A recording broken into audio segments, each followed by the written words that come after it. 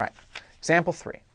So what if we've got a block of mass 20 kilograms, and once again, sliding on a frictionless table, no air resistance, nothing like that. So it's just about the energy uh, being put into it with VI equals 4 meters per second. So it starts off with a velocity of 4 meters per second, then acted upon by a force of 35 newtons at an angle of 20 degrees above the horizontal for a distance of 15 meters.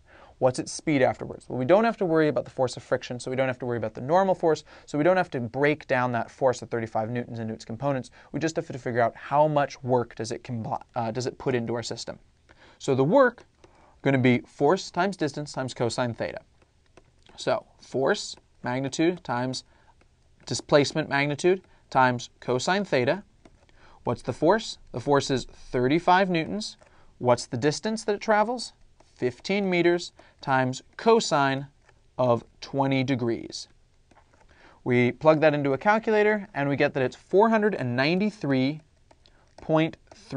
joules. All right, conservation of energy formula. We know that the energy at the beginning in our system plus the work put in is equal to the energy at the end in our system.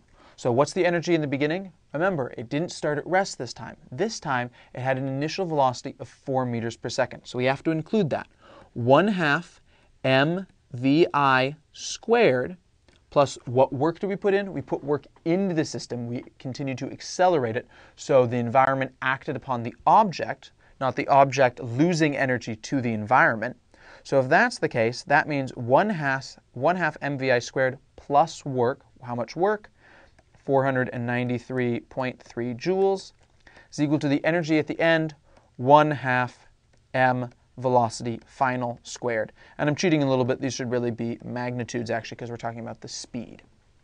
All right, so here we just plug things in. So 1 half mvi squared plus 493.3. What's the mass? 1 half 20 is the mass, 20 kilograms, times its initial speed, 4 squared, plus 493.3.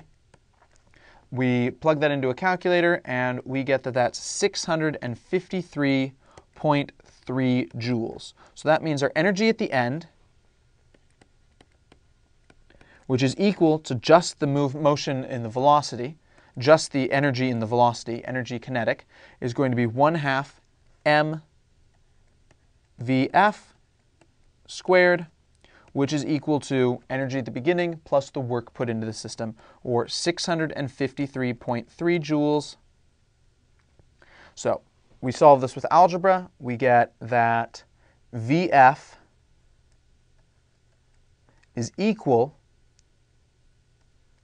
speed, sorry, not velocity, VF is equal to 2 times 653.3 divided by the mass, which is 20 kilograms, and then we also have to take the square root of everything. We plug that into a calculator, and we get that it's 8.08 meters per second. There we go. We know what the starting energy is. We know how much work goes into the system.